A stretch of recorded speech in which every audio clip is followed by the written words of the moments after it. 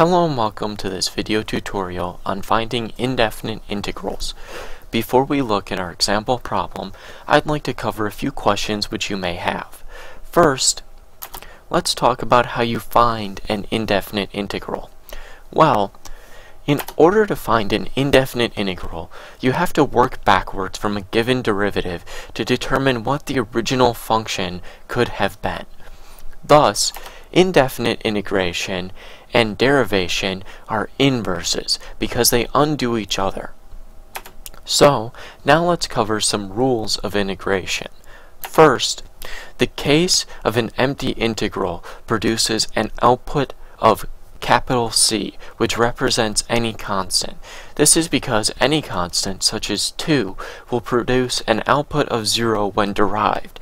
Thus, determining the exact constant is impossible, so we represent it with capital C. Second, the case of a constant k produces an output of kx plus c, since a constant times x produces a constant when derived. Third, multiplying by a constant works the same for integration as it does for a derivative. Thus, this means that the constant can be moved outside the integral. Fourth, adding or subtracting two functions within an integral can be re rewritten as two separate integrals, one for each function. Fifth, in order to undo the power rule of derivatives, you'd increase the power on x, which is n, by 1.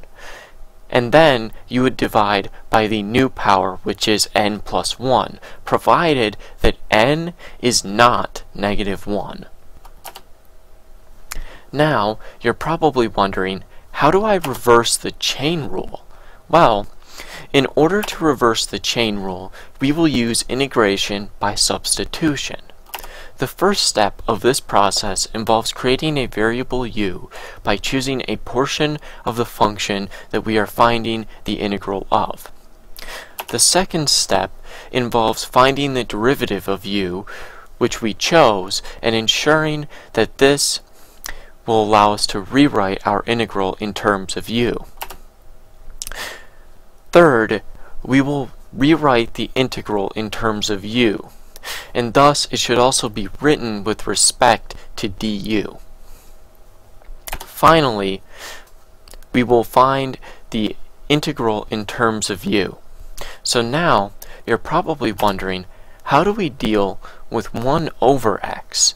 Well, the first thing you might try to do is rewrite that as x to the negative 1 power and find its in integral. However, doing so will result in division by 0 because by the power rule we'll find that we have to divide by 0. Thus, this way would be undefined. So, in order to deal with this, we will actually have to find another approach. Well, recall that the derivative of natural log of x is 1 over x. Thus, we can deal with this by using natural log. However, we also have to keep the domain of natural log in mind, and thus we will use the absolute value of x. Thus, the indefinite integral of 1 over x is ln x, or absolute value of x, plus c.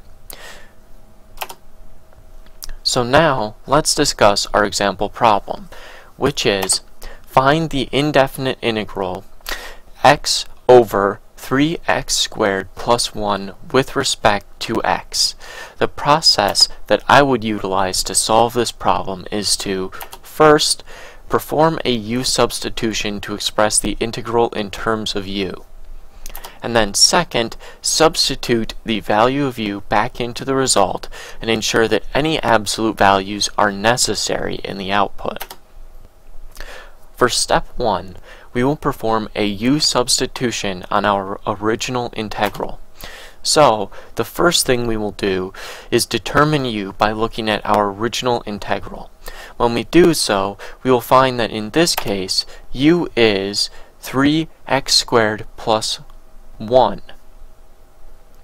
Second, we will determine u, or du, by finding the derivative of u with respect to x. The result of this will be du equals 6x dx. However, we need du to actually be x dx when we look at our original integral. Thus, we will divide both sides by 1 6, which gets us the correct original result. Third, we will rewrite the original integral in terms of u. Our result will be 1 6 indefinite integral of 1 over u with respect to u. Finally, we will evaluate this integral. The result of this is ln absolute value of u over 6 plus c. For step 2, we need to substitute the value of u back into the result and ensure that the absolute value that is in there is absolutely necessary. So, first, let's perform that substitution. In doing so, we will substitute 3x squared plus 1 for u in our result, and find that now our result is ln absolute value of 3x squared plus 1 all over 6 plus c. Second, we will determine if this absolute value is necessary. So, let's consider the question, is 3x squared plus 1 greater than 0? Well, the answer to this is yes, it is greater than 0 because it is a parabola which has been shifted up by 1 giving it a minimum of 0, comma 1.